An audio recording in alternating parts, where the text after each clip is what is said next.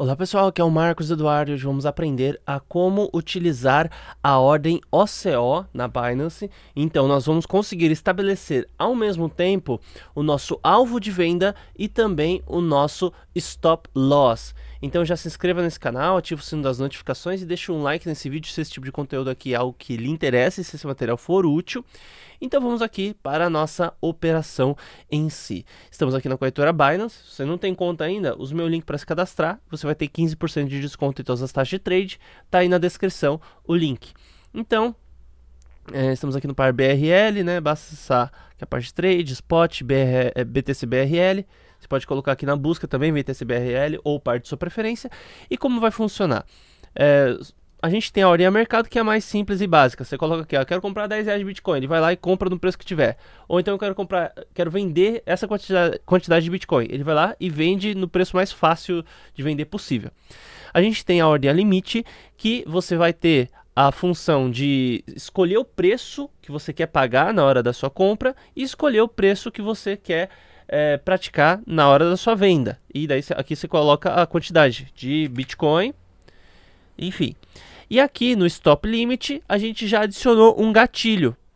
Então a gente vai ter aí um gatilho, por exemplo, se o preço do Bitcoin bateu 135 mil reais, eu vou vender esse Bitcoin a 134,900, né? Ou seja, se o preço cair aqui, eu já vou meter uma ordem de venda para vender o mais rápido possível e eu coloco um preço inclusive abaixo. Eu posso também colocar o preço acima? Posso. Tanto faz, né? Aqui é só um gatilho para acionar a ordem que vai ser é, ativada. Né? Então, posso colocar também na ordem de compra né, um gatilho e a ordem de compra pode ser tanto mais barata quanto mais cara em proporção ao preço que eu selecionei. Já a ordem OCO, ela vai estabelecer mais um parâmetro ainda. Então a gente vai ter aqui, para você entender bem, presta muita atenção nisso, senão você não vai conseguir entender, tá? O preço, que é o primeiro parâmetro, o preço, que é o primeiro parâmetro, é o seu objetivo. Então vamos supor, você comprou um, um Bitcoin a 140 mil reais, ele começou a subir, subir, subir, esse era o seu objetivo, e você quer vender a 150. Então aqui não é o seu stop loss, é, é o seu objetivo de venda, seu alvo. Então o que, você vai fazer? Você vai colocar aqui, ó. Eu comprei a 140 e quero vender a 150. Certo? Então tudo deu certo. Aqui você vai vender a 150. Porém, agora, se a operação não foi frutífera e o ativo começar a cair, o que é que vai acontecer? Eu vou colocar um gatilho aqui que se o preço chegar a 139 mil dólares, ele vai ativar uma ordem de venda de 138,950. Né? Então, por que, que eu coloquei um valor inclusive? Por que, que eu coloquei um valor inclusive menor aqui? Porque o preço ele pode cair com tudo e não dá tempo de executar a minha ordem.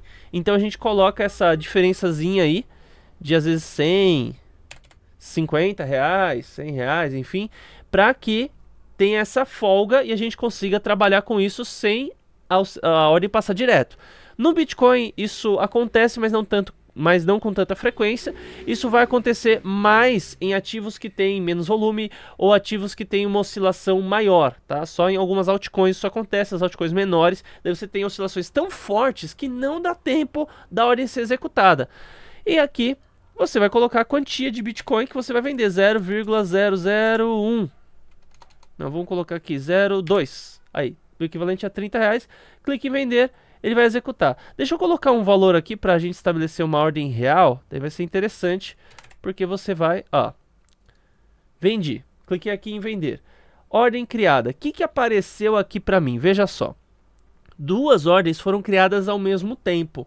Então, o que, que acontece? Se, presta atenção nisso que eu estou falando, é um comando. Quem já mexeu com programação sabe do que eu estou falando. Se Bitcoin BRL bater 150 mil, ele executa. Né? É, a, a, ordem vai ser vendida. É como se eu já tivesse uma ordem lançada aí no mercado de 150 mil reais, que é onde eu quero vender o meu Bitcoin.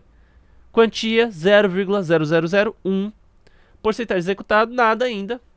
E aqui o valor total. Tá? Então esse daqui é meu objetivo. Essa primeira linha é o seu objetivo final. Agora, ou se stop loss limit, né? Se o preço bater, daí a condição vai estar aqui embaixo da minha imagem, ó. Presta atenção. 139 mil, tá vendo? Se o preço bater 139 mil, por, por consequência, ele vai lançar uma ordem de 138,900. Significa que eu vou, que eu vou vender por 138,900? Não, pode ser que seja um valor maior ou um valor intermediário entre 138 e 139. Não vai ficar um negócio extremamente discrepante. Mas então é uma condição. Então, mas e Marcos, e se a minha ordem bater, minha, meu alvo bater e eu vender por 150 mil, eu vou ter que cancelar essa ordem aqui? Não, uma cancela a outra automaticamente. Agora, se o stop bater, a ordem de alvo também é cancelada automaticamente, certo?